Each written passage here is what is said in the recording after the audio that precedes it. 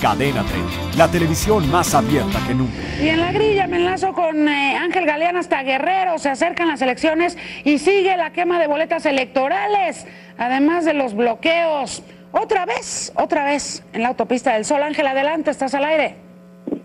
Hola Yuri, muy buenas tardes. Pues el día de hoy, eh, normalistas de Ayotzinapa, así como padres de los estudiantes desaparecidos, tomaron la caseta de Palo Blanco que se ubica en la autopista del Sol, en donde dejaron el paso libre a eh, los automovilistas que transitaban por ahí y además quemaron propaganda electoral del Partido de los Pobres, un partido con registro aquí en el estado de Guerrero.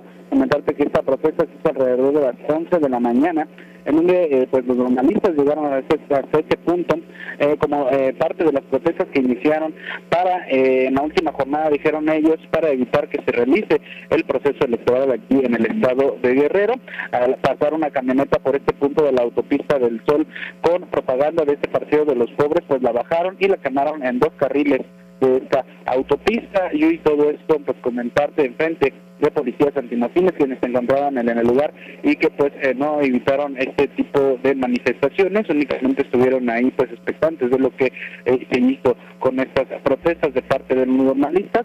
Ellos se retiraron alrededor de la una de la tarde y se dirigieron hacia el Palacio de Gobierno de Guerrero, el cual está tomado por maestros de la CEPEG y que también están pues en estas movilizaciones en donde están o donde están advirtiendo, mejor dicho, que no van a permitir el desarrollo del proceso electoral, todo esto aunado con la quema de boletas electorales que se hizo el día de ayer allá en el municipio de Tlapayuri.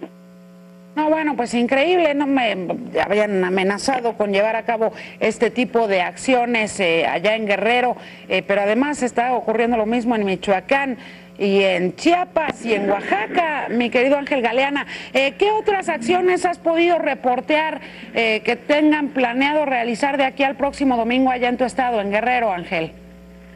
Mira, por el momento eh, ellos están anunciando que esta semana habrá movilizaciones, no solamente en Chilpancingo, sino en Tlapa.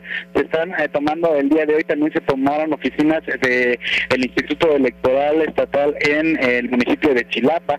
Hay eh, protestas en diferentes puntos del estado, también en Ayutla, y se prevé que así sigan. Y es que varias organizaciones sociales pues se han sumado a esta advertencia de que no permitirán el desarrollo del proceso electoral. Incluso ayer, Yuri, los dos institutos, tanto el INE como el, instituto local, se declaraban ya listos para eh, la jornada del 7 de junio. Sin embargo, pues el día de ayer se eh, roban eh, más de 100 mil boletas electorales y las queman en el municipio de Tlapa y todo esto, pues bueno, está iniciando, de acuerdo con lo que dijeron el día de hoy los voceros de los normalistas que eh, tomaron la, la, caseta de palo blanco, Yuri. Estamos al pendiente, Ángel, gracias. Cualquier cosa regreso contigo. Buenas tardes.